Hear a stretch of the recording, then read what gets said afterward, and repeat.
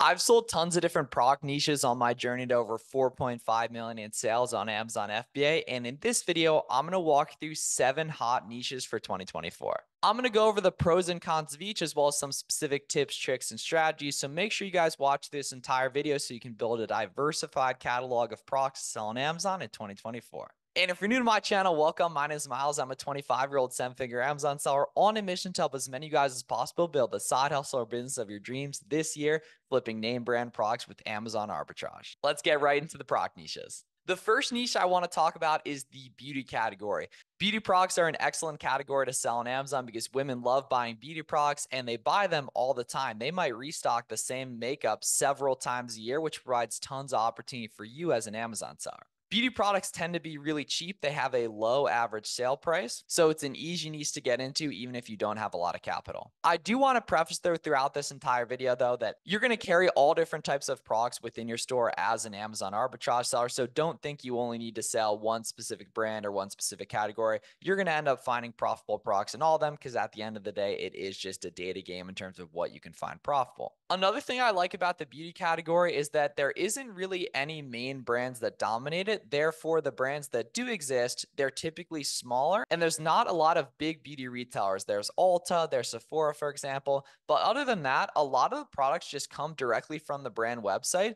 Therefore, you know where the inventory is coming from. So take the Glossier brand, for example, a brand I see a lot of different resellers carrying. We know for the most part that inventory is probably coming from the Glossier website. So all we need to do is create an account on the Glossier website and then they're going to email us every time they have a deal going on. And then we know there's a good chance we're going to find some of those products profitable if we go ahead and cross reference over to Amazon. Another thing is that a lot of these brands are smaller, so they don't have tons of different products. Take Adidas, for example, it has tens of thousands of different products that sell fast on Amazon. Glossier only has a few dozen, so it can be a little bit easier to narrow down on the best specific products and find them profitable because you know where that inventory is coming from. A major downside of the beauty category, specifically for arbitrage sellers, is that it has a low average sale price, which can make it a little bit difficult to scale when you consider that order cancels are the main bottleneck for online arbitrage. So there's not a ton of websites you can go ahead and order tons of specific product from because, like I said, most brands only come from either the brand website and Ulta or Sephora or just the brand website.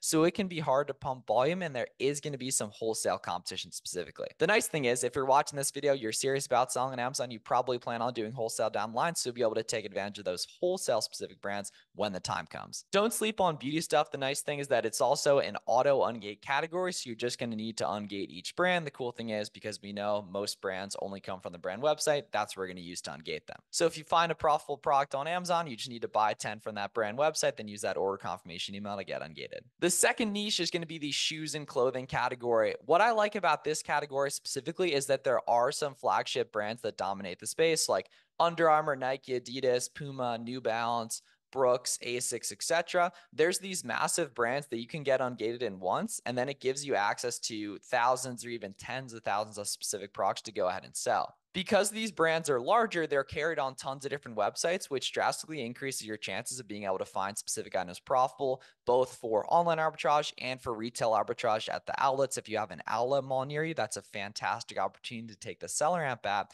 and go in and scan as many products as possible. These brands are going to be gated for the most part because they are some of the biggest arbitrage friendly brands on the platform. However, the nice thing is there's not really wholesalers that sell this stuff the way that there are mainly with beauty and grocery and health and house household types of products. So the nice thing is there's not going to be wholesale competition, which provides a ton of opportunity as arbitrage sellers. You are going to need to ungate each brand, which luckily can be done using any big retailer. And the average sale price for these products tends to be a lot higher, leading it to be easier to scale. A major downside of these types of products is that customers do tend to return them a lot more than beauty and grocery products, for example. However, if you're padding your ROI criteria correctly, that's not going to be too much of an issue. You just need to make sure you're tracking the return rate on the products you're selling to making sure you're not losing any money after returns on certain products, which shouldn't be an issue if you're doing that correctly and utilizing all your coupon codes, discount codes, cashback, the free coupon extensions, etc.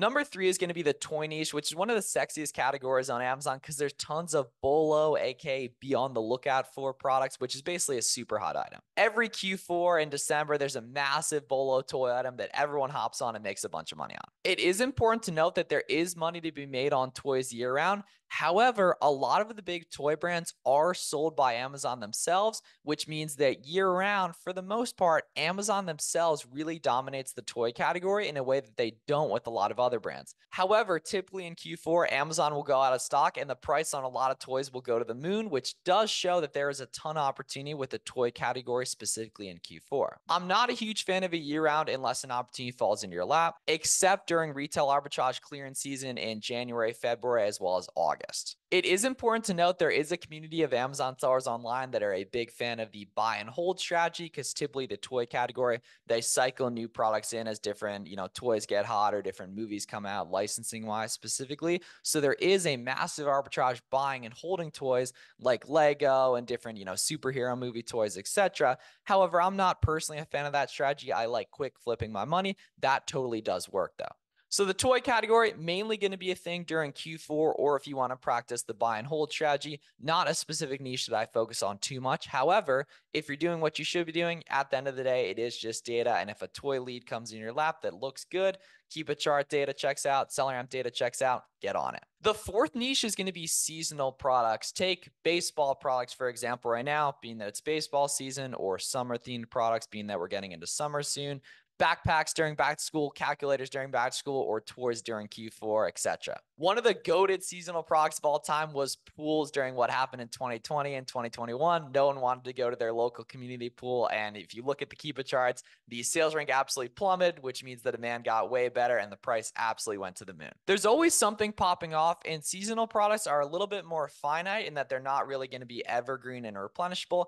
However, over a long enough time scale, there are going to be lots of opportunities to go ahead and repurchase the same products again and again. If you go ahead and look at any CRAN listing and you go to the data offers tab on Keepa, you're going to see that there's sellers that have been selling crayons for like five years on Amazon. So even if they aren't replenishable month after month, they are replenishable year after year. The cons of selling seasonal products, though, is you always are going to be chasing the new thing.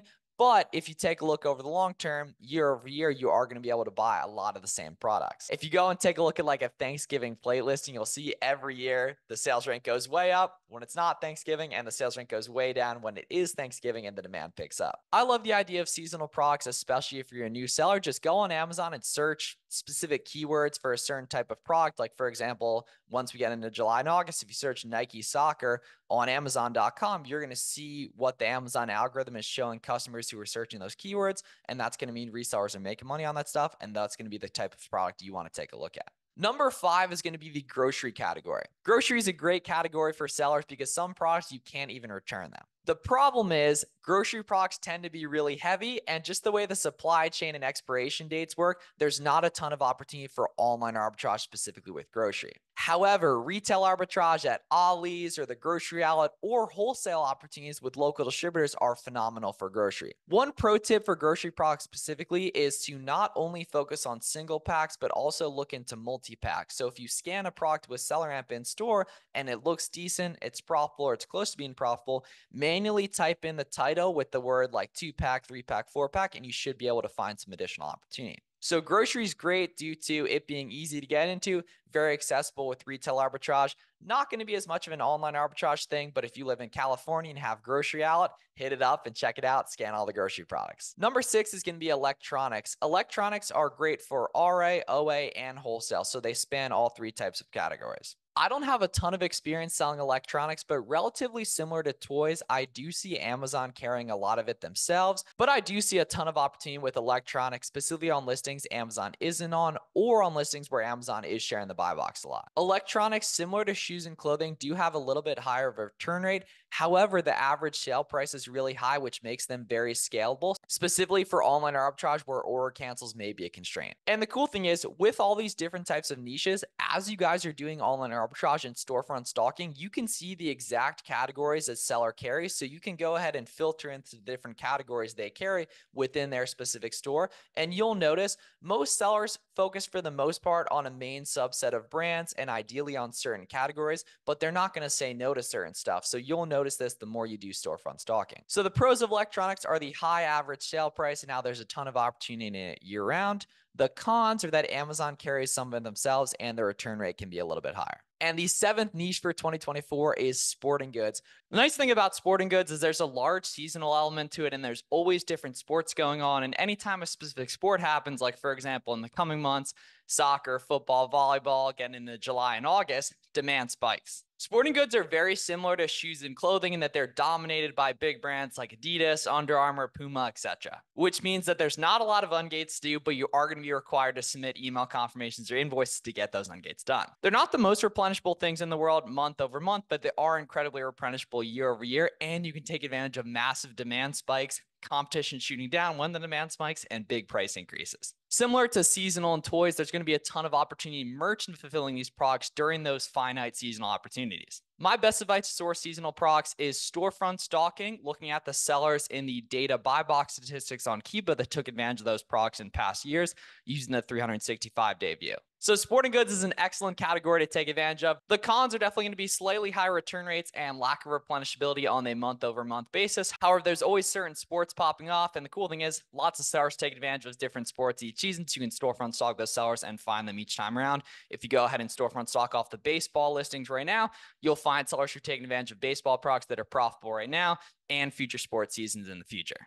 To summarize this entire video, guys, it's really important to note that in all different business models, there's products that are profitable in each of these different categories. Beauty, grocery, and electronics are going to be predominantly wholesale sellers. However, there's tons of opportunity with retail arbitrage and online arbitrage for those as well. And then shoes, clothing, seasonal, toys, and sporting goods are primarily going to be arbitrage categories, although there will be wholesale and brand direct opportunities specifically within those categories. They just happen to mainly be arbitrage, but it's much more on a brand by brand basis, and it's important to understand that. Speaking of seasonal opportunities, back to school is right around the corner. I'm filming this right before Mother's Day. We got Mother's Day coming up, and then Father's Day, Memorial Day, 4th of July, and eventually Prime Day in July, and then back to school, and then eventually Q4. If you guys are looking to partner up and work directly with me to take full advantage of those opportunities, now is the perfect time to apply for my coaching program if you're looking for personal one on one coaching with myself, all my favorite coupons, tips, tricks, strategies, deals. You want to get on a live sourcing call one on one with myself on Zoom, as well as three group coaching calls per week you want to be around other sellers that are crushing the game,